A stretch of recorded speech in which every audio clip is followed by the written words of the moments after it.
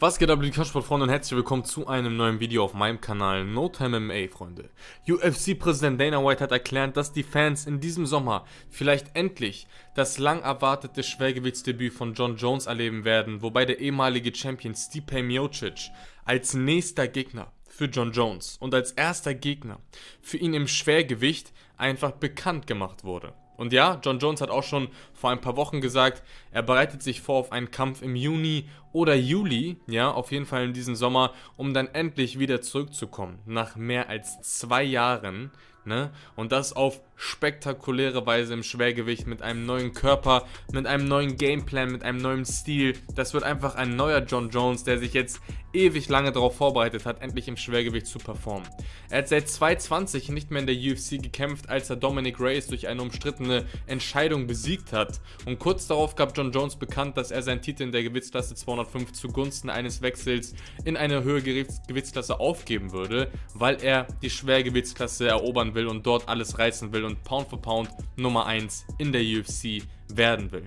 Da das Jahr 2022 nun aber in greifbare Nähe gerückt ist, steht er auf jeden Fall immer noch da, ohne einen Kampf. Jetzt hat UFC-Präsident Dana White eine Rückkehr des ehemaligen Champions im Sommer aufgegriffen und gesagt in einem Interview, dass die Leute schon mehrmals darüber gesprochen haben, wie großartig eine Fightcard im Sommer ist. Und ich habe neulich jemandem erzählt, dass unsere Aufstellung für diesen Sommer an Kämpfen wirklich einfach nur krass und unglaublich bedeutsam und wirklich einfach nur mega für die UFC ist. Ich hoffe, dass John Jones in diesem Sommer ein Teil des Programms sein wird und sich auch mit mir einigen kann finanziell auf die Frage nach einem möglichen Gegner. Sagte der UFC-Präsident Dana White lediglich, weil der Interviewer ihn gefragt hat, ja was sehen wir? Engano, Cyril Gahn, Stipe ist auch da oben, da sind jetzt auch Tom Aspinall und Taito Iwasa ebenfalls am Start. Er sagte jetzt hier ganz klar und deutlich, ja, Stipe Miocic macht Sinn.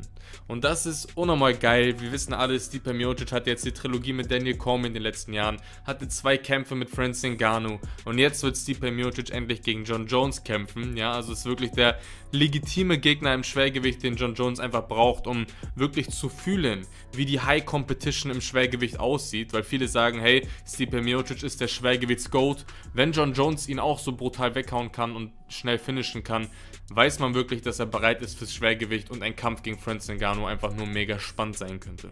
Als John Jones ursprünglich ankündigte, dass er das Gewicht erhöhen würde, war dies mit der Bedingung verbunden, dass er für einen Kampf um den Gürtel antreten würde. Das bedeutet auch, dass die UFC höchstwahrscheinlich hier einen Interims-Titelkampf auf die Beine stellen wird. John Jones gegen Stipe Miocic, ne? Und der Gewinner dieses Kampfes wird dann gegen Francis Ngannou kämpfen. Also Stipe bekommt entweder die Trilogie oder John Jones bekommt den Superkampf gegen Francis Ngannou, wo beide, denke ich, richtig, richtig saftig verdienen werden. Ich bin gespannt drauf, schreibt mal auch mal in die Kommentare, lasst ein Like und ein Abo da. Bis zum nächsten Mal hier bei No Time in May.